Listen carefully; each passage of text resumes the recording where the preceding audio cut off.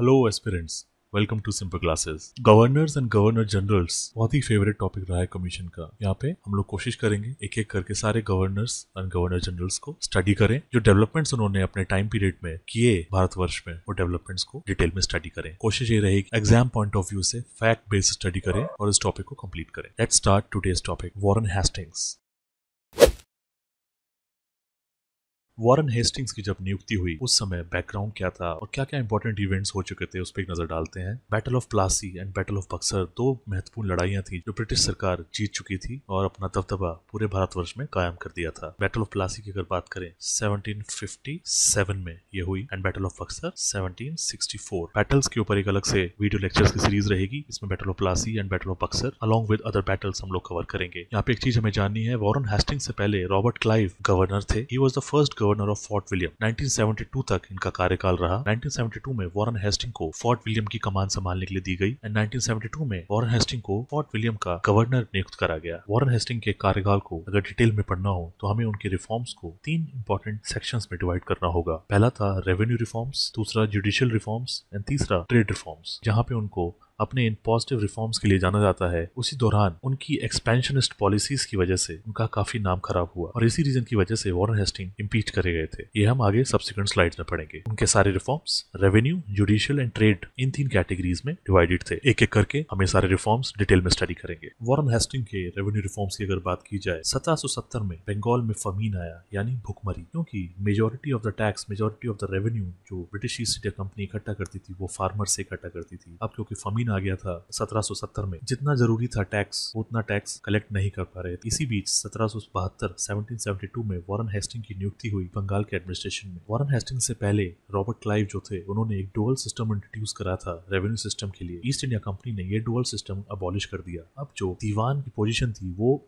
East India company खुद निभा रही। रेवेन्यू को कलेक्ट करने का काम ईस्ट इंडिया कंपनी अब खुद निभा रही थी और इसी को दीवान बोलते हैं। डुअल सिस्टम जो क्योंकि अबॉलिश हो चुका था ईस्ट इंडिया कंपनी रेवेन्यू खुद कलेक्ट कर रही थी, यानी ईस्ट इंडिया कंपनी दीवान बन चुकी थी। इसी रीजन की वजह से एक board of revenue B O R establish करा गया कैलकाटा में। यहाँ पे एक और इम्पोर्टेंट डेवलपमेंट जो ट्रेजरी थी, वो पहले मुर्शिदाबाद में थी। जब ये रिफॉर्म्स वॉरन हेस्टिंग लेके आए तो ट्रेजरी को मुर्शिदाबाद से कैलकाटा शिफ्ट करा गया। उसी साल कैलकाटा को बंगाल की कैपिटल भी बनाया गया 1772 में। ये याद रखिएगा फैक्ट्स क्योंकि रेवेन्यू रिफॉर्म्स वॉरन हेस्टिंग्स लेके आए थे। उस रिफॉर्म्स के तहत बोर्ड ऑफ़ रेवेन्यू बना था, क्योंकि East India company revenue collection का काम अब डायरेक्ट अपने हाथों में ले चुकी थी और इसी रीजन की वजह से board of revenue B O R establish हुआ था। कैलकाटा को कैपिटल ऑफ़ बंगाल घोषित किया गया था और ट्रेजरी मुर्शिदाबाद से कैलकाटा ट्रांसफ़र कर दी गई थी। अब क्योंकि कंपनी की माली हालत ठीक नहीं थी और जितना रेवेन्यू कंपनी को कलेक्ट करना था, उतना रेवेन्यू नहीं आ रहा था और इसी रीजन की वजह से ये रेवेन्यू रिफॉर्म्स वॉरन हेस्टिंग्स लेके आए, उसी रिफॉर्म्स के तहत बोर्ड ऑफ़ रेवेन्यू एस्टेब्लिश करा गया। यहाँ पे बोर्ड ऑफ़ रेवेन्यू ने एक बहुत ही इंपॉर्टेंट स्टेप लिया। अभी तक जो भी लैंड जो भी ज़मीन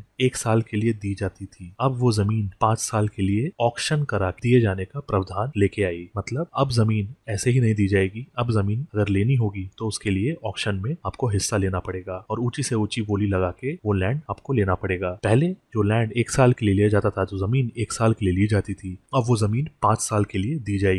बट उसके लिए ऑप्शन में आपको हिस्सा लेना पड़ेगा। हालाँकि ये बोलने वाली बात नहीं बट जमींदार को यहाँ पे एक एडवांटेज दिया जाता था। बट वॉरन हेस्टिंग एक जायज़ इंसान थे, वहीं पे पीजेंट्स का भी काफ़ी ख्याल रखा गया और फालतू के फ़ीस सेस और फाइन पीजेंट्स पे लगाना एबॉलिश कर दिया गया। अब कोई भी पीजेंट्स पे, यानी जो खेती करते थे, उन लोगों पे फालतू का सेस और फाइन अब नहीं लगाया जा सकता था, क्योंकि ये सेस और फाइन एबॉलिश कर दिया गया था बोर्ड ऑफ़ रेवेन्यू के द्वारा। ये इतना बड़ा स्टेप बोर्ड ऑफ़ रेवेन्यू ने जो लिया ईस्ट इंडिया कंपनी की आमदनी को बढ़ाने के लिए किया था, लेकिन ये स्टेप कुछ ज़्यादा कारगर नहीं रहा। जितना सोचा था, उतना रेवेन्यू में बढ़ोतरी नहीं हुई और जितने भी जमींदार ने ऑप्शन के थ्रू ये लैंड लिया था, जमीनें ली थी और जो पेमेंट फाइनलाइज की गई थी, वो पेमेंट उन्होंने ईस्ट इंडिया कंपनी को नहीं दी। बार बार ये जमींदार अपनी पेमेंट्स पे डिफ़ॉल्ट करते चले गए और बहुत सारा एरियर्स इकट्ठा हो गया। तो जो ओवरऑल ऑब्जेक्टिव था बोर्ड ऑफ़ रेवेन्यू को एस्टेब्लिश करके रेवेन्यू बढ़ाने का और लैंड को ऑप्शन के थ्रू पाँच साल के लिए देने का वो पूरा ऑब्जेक्टिव यहाँ पे कारगर नहीं रहा। और रेवेन्यू जितनी सोची थी ईस्ट इंडिया कंपनी ने, उतनी रेवेन्यू नहीं बढ़ी। रेवेन्यू रिफॉर्म्स समझने के बाद हम लोग पढ़ेंगे जुडिशियल रिफॉर्म्स किस तरीके से वॉरन हेस्टिंग ने चेंज किए। वॉरन हेस्टिंग्स का क्या रोल रहा जुडिशियल रिफॉर्म्स में? उनको समझने से पहले वॉरन हेस्टिंग्स के कार्यकाल के पहले जो जुडिशियल प्रोसेस था, एक बार उस पर नज़र डालते हैं। न्याय किस तरीके से दिया जाता था उस समय पे? सबसे ऊपर होता था नवाब और नवाब के डायरेक्ट नीचे होते थे जमींदार। नवाब को चीफ एडमिनिस्ट्रेटर ऑफ़ जस्टिस का दर्जा दिया गया था। वहीं पे जमींदार को जजेस एट लोअर लेवल यानी निचले स्तर पे डिसीज़न लेने का प्रोसेस जमींदार को दिया गया था। नीचे के लेवल्स पे जब भी सुनवाई करनी होती थी, उस सुनवाई के लिए जजेस का काम जमींदार करा करते थे। अब जब जमींदार के हाथ में इतनी बड़ी पावर सौंपी गई थी तो वो अक्सर करप्ट प्रैक्टिस में इन्वॉल्व थे। वो प्रिजुडिस्ट थे मतलब किसी एक पक्ष की तरफ़ झुकाव रहता था उनका और करप्शन में लिप्त थे। अब जब नवाब को चीफ एडमिनिस्ट्रेटर ऑफ़ जस्टिस का टाइटल दिया हुआ है, इतनी बड़ी रिस्पॉन्सिबिलिटी नवाब के कंधों पे दी गई थी, उन्होंने अपनी पावर का काफ़ी मिस करा। तो जनरली जो भी दो मेन पिलर्स थे जुडिशियल रिफॉर्म्स के, नवाब्स और जमींदार्स, दोनों ने ही अपना काम ठीक से नहीं किया। और इसी रीजन की वजह से वॉरन हेस्टिंग्स को जुडिशियल रिफॉर्म्स लाने पड़े। तो क्वेश्चन यहाँ पे अगर आए जुडिशियल रिफॉर्म्स आने से पहले वो कौन से दो इंपॉर्टेंट पिलर्स थे? तो आपका आंसर होगा नवाब्स और जमींदार नवाब्स को बोला गया था chief administrator of justice and zamindars को छोटे लेवल पे जज का रोल दिया गया था। दोनों ने ही अपना रोल के साथ जस्टिस नहीं किया, अपनी पावर का मिस करा करप्शन में इन्वॉल्व रहे और इसी रीजन की वजह से जुडिशियल रिफॉर्म्स लाने पड़े। जुडिशरी के नाम पे जो मज़ाक चल रहा था, उसको वॉरन हेस्टिंग्स ने अपने जुडिशियल रिफॉर्म्स के तहत स्ट्रीमलाइन करने की कोशिश की। और इसी रीजन की वजह से वॉरन हेस्टिंग्स अपने जुडिशियल रिफॉर्म्स लेके आए। इन जुडिशियल रिफॉर्म्स के तहत जितनी भी डिस्ट्रिक्ट थी, हर डिस्ट्रिक्ट को दो तरीके की कोर्ट्स दी जानी थी। पहला था सिविल कोर्ट दूसरी क्रिमिनल कोर्ट जितने भी सिविल केसेस रहेंगे, वो सिविल कोर्ट हैंडल करेगी और क्रिमिनल केसेस के लिए क्रिमिनल कोर्ट कलेक्टर रैंक का एक ऑफिसर सिविल कोर्ट को लीड करेगा और वहीं पे इंडियन जज जो होंगे क्रिमिनल कोर्ट को हेड करेंगे या लीड करेंगे। डिस्ट्रिक्ट लेवल पे कोर्ट्स का प्रावधान जुडिशियल रिफॉर्म्स के तहत लाया गया। अगर वहाँ पे आपसे ये क्वेश्चन पूछा जाए, क्या अपील का प्रावधान था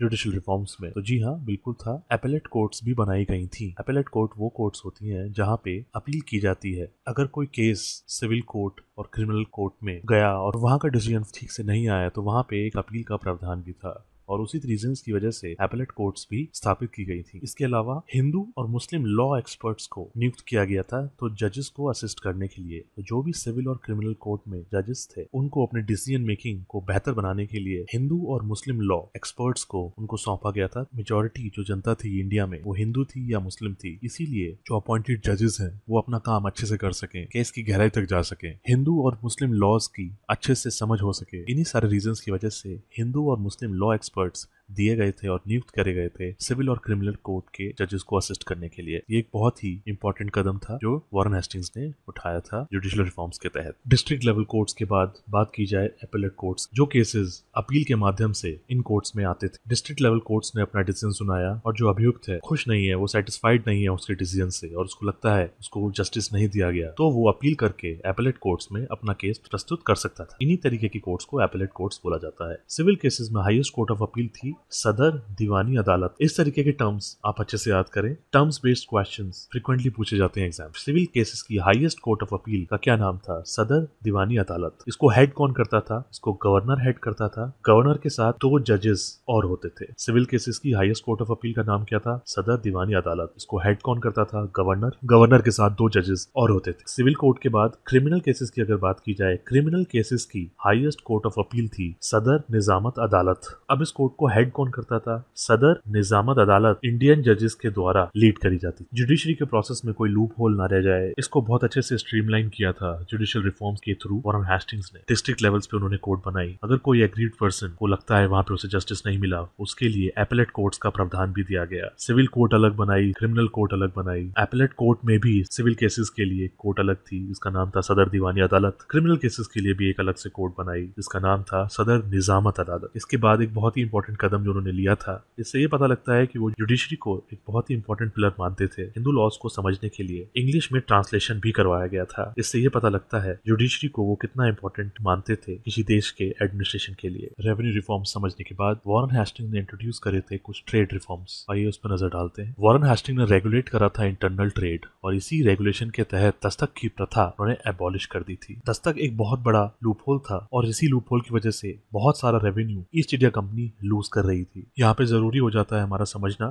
कि दस्तक था क्या। आइए देखते हैं। तो विकीपीडिया से हमने डेफिनेशन लिया दस्तक की। Dastak it was prevalent in eighteen century in Bengal it was a permit exempting European traders mostly of the British East India company from paying custom duties और transit duties on their private trade मतलब एक तरीके का ये permit था जो European traders mostly British East India company के officers को एग्ज़ाम करता था कि अगर वो कोई प्राइवेट ट्रेड करते हैं तो उस प्राइवेट ट्रेड के लिए उनको कस्टम ड्यूटीज़ और ट्रांसिट ड्यूटीज़ ना के बराबर देनी होती थी या नहीं देनी होती थी। और इसी रीजन की वजह से बहुत सारे ब्रिटिश ईस्ट इंडिया कंपनी के ऑफिसर्स प्राइवेट ट्रेड करते थे, सामान इंडिया से उठाते थे बहुत ही कम दाम में और यूरोप में जाके उन्हें बेचते थे और उससे काफ़ी ज़्यादा प्रॉफिट कमाते थे। इस पूरे प्रोसेस के लिए दस्तक, जो कि एक परमिट था, उस परमिट के थ्रू उस परमिट की वजह से इंडिया से यूरोप में ले जाने के लिए जो कस्टम ड्यूटीज़ देनी होती थी, वो कस्टम ड्यूटीज़ और ट्रांसिट ड्यूटीज़ वेव्ड ऑफ़ थी, उन्हें नहीं देनी पड़ती थी। और इसी रीजन की वजह से वॉरम हैस्टिंग ने दस्तक को एबॉलिश करा और इंटरनल ट्रेड को रेगुलेट करा। व्यूअर्स यानी जो लोग बुनाई के काम किया करते थे, उनके बेटर ट्रीटमेंट और कंडीशन को इंश्योर करा गया। कैलकाटा में बैंक भी खुलवाया वॉरन हेस्टिंग्स ने।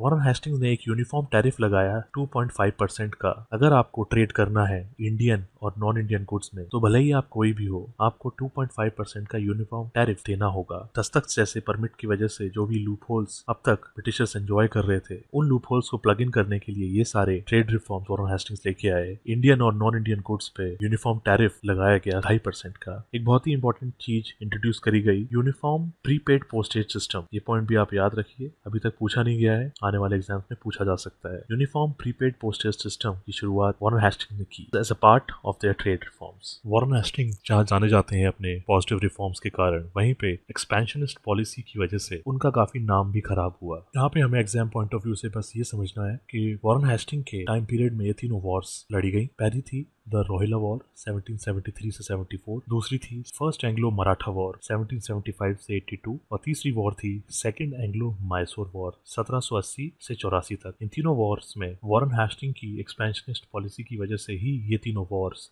लड़ी गई थी। जैसे कि हमने स्टार्टिंग वीडियोस में बताया वॉर से रिलेटेड अलग वीडियो सीरीज़ स्टार्ट होगी, उसमें सारी वॉर्स डिटेल में डिस्कस की जाएँगी। लेक्चर कंक्लूड करने से पहले कुछ और इंपॉर्टेंट पॉइंट जो वॉरन हेस्टिंग के कार्यकाल के टाइम पे हुए थे, एक बार उन पर नज़र डालते हैं एग्ज़ाम पॉइंट ऑफ़ व्यू से ये भी ज़रूरी हो सकते हैं। आपको ये सारे के सारे पॉइंट्स या फिर इसमें से जो भी इंपॉर्टेंट पॉइंट्स हैं, पता होने चाहिए। उनका कार्यकाल रहा था 1773 से 1785 तक। रेगुलेटिंग एक्ट ऑफ़ 1773 इन्हीं के कार्यकाल के दौरान हुआ। इसके अलावा एशियाटिक सोसाइटी ऑफ़ बंगाल ये एक इंपॉर्टेंट पॉइंट है, आप मुझे कमेंट सेक्शन में बताइए एशियाटिक सोसाइटी ऑफ़ बंगाल किसने एस्टेब्लिश करी थी? इसके अलावा, सत्रह सौ चौरासी का पिट्स इंडिया एक्ट भी इन्हीं के कार्यकाल के दौरान हुआ था। रेवेन्यू रिफॉर्म्स के तहत इन्होंने मुगल को जो पेंशन जाती थी, वो पेंशन भी बंद कर दी थी। इसके अलावा, ये पॉइंट हमने कवर किया था ट्रेजरी को उन्होंने मुर्शिदाबाद से कलकत्ता शिफ्ट कर दिया था। आप मेरे कमेंट सेक्शन में बताइए, किस साल में ये स्टेप लिया गया था? इसके बाद, इसी समय कलकत्ता को बंगाल का कैपिटल भी बनाया गया था। एक बहुत ही इंपॉर्टेंट पॉइंट है जेम्स अगस्तस हिकी इन्होंने भारत का पहला इंडियन न्यूज़पेपर पब्लिश किया था। इसका नाम था बंगाल गजेट, और ये भी वॉरन हेस्टिंग के कार्यकाल के दौरान ही हुआ था। उसके अलावा Anglo Mysore Anglo Maratha and Rohilla wars, ये हमने पिछली स्लाइड्स में देखा।